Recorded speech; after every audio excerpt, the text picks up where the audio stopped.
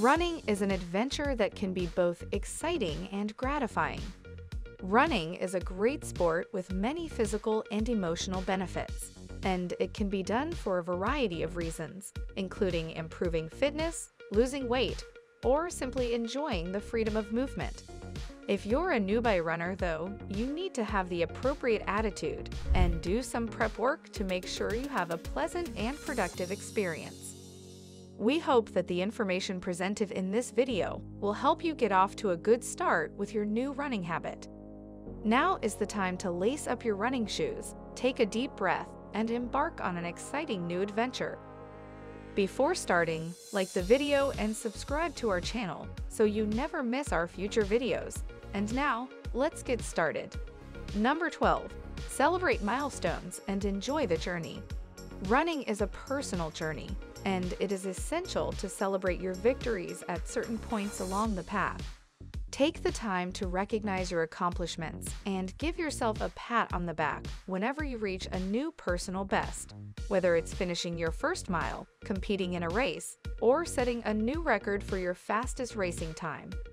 It is important to remember to enjoy the process and to fully immerse oneself in the joy of running because the journey itself is what ultimately offers the most satisfaction. Number 11. Stay hydrated and fuel your body. To achieve one's full potential in both performance and recovery, it is necessary to maintain adequate hydration and nutrition. Maintaining adequate hydration levels requires that you take in water before, during, and after each of your runs. In addition, make sure that you give your body the fuel it needs by following a well-rounded diet that consists of carbohydrates, proteins, and healthy fats. This will supply your body with the necessary nutrition and energy for running. Number 10. Practice mindful running. The act of running provides an excellent opportunity to engage in the practice of mindfulness and forge a connection with one's physical self and the world around them. During your runs, instead of concentrating entirely on achieving certain performance goals, try devoting some of your attention to appreciating the beauty of nature, watching your breath, and becoming more aware of the sensations your body is experiencing. Running with awareness can improve the quality of your running experience as a whole, while also fostering feelings of serenity and relaxation. Number 9. Mix up your routine. Altering up your workouts will prevent you from being bored with your normal running routine and will keep your running habit interesting. Explore a variety of routes, traverse a variety of terrains, and include cross-training sports such as cycling, swimming, and strength training in your routine. Your workouts will be more interesting as a result of this, and you'll see an overall improvement in your level of physical fitness as a result of engaging a wider number of muscle groups. Number 8. Find a supportive community. It's not necessary to go at it alone when you go for a run. Support, motivation, and a feeling of belonging are all things that can be gained by becoming a member of a local running organization or making connections with other runners online. It might be motivating to talk to other people who have similar interests and aspirations about your experiences as a runner, including the difficulties you've faced and the advice you've received. Number 7. Gradually increase distance and intensity. As your body becomes accustomed to running, you should progressively ramp up the distance you cover, as well as the intensity of your workouts. Your goal should be to run a bit further each week, but you shouldn't try to increase the total distance you cover by more than 10% at a time to avoid overtraining and injury. In addition, include some speed intervals or hill exercises in your routine once in a while, so that you may improve your running performance and push your cardiovascular system. Number 6. Invest in proper running shoes. Finding a good pair of running shoes that fit well and offer your feet the perfect amount of support and cushioning is one of the most important parts of becoming a better runner.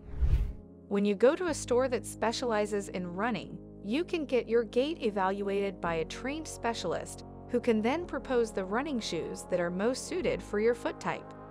Don't discount the significance of purchasing high-quality footwear. Wearing shoes that don't fit properly can cause discomfort, suffering, and even injury, so you shouldn't save on this purchase. Number 5. Focus on proper form. Keeping your running form in check is necessary if you want to maximize your performance and minimize your risk of injury. Maintain an upright posture by making sure that your head is in the correct position, your shoulders are relaxed, and your arms are moving naturally. Strive for a strike in the middle of your foot, softening your landing so that you may spring forward with each step. It is important to keep in mind that excessive bouncing and overstriding might place unneeded stress on your joints, so you should try to avoid doing these things. Number 4. Listen to your body. During your runs, it is important to pay close attention to the cues that your body is giving you. It is essential to pay attention when you feel pain or discomfort, and to respond appropriately by taking the necessary steps.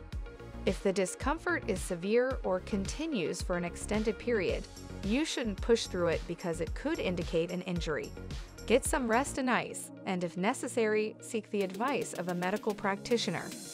In addition, make sure that you give yourself adequate time to recuperate between runs to reduce the risk of overuse problems and to provide your body with the opportunity to rebuild and improve its strength.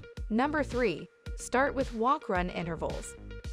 It is preferable to begin gradually by alternating between walking and running, especially if you are new to running or haven't been active for a long. If this describes your situation, a walk-run method is the most effective way to get started. Alternating between walking and running for short bursts will help your body adjust to the increased impact and pace of running. Starting with a ratio of one minute of jogging followed by two minutes of walking is a good place to start. From there, progressively increase the amount of time spent running while decreasing the amount of time spent walking. Number 2. Warm up and cool down. Always start your running workouts with a dynamic warm-up exercise so that you can get your muscles and joints ready for the activity that is about to follow.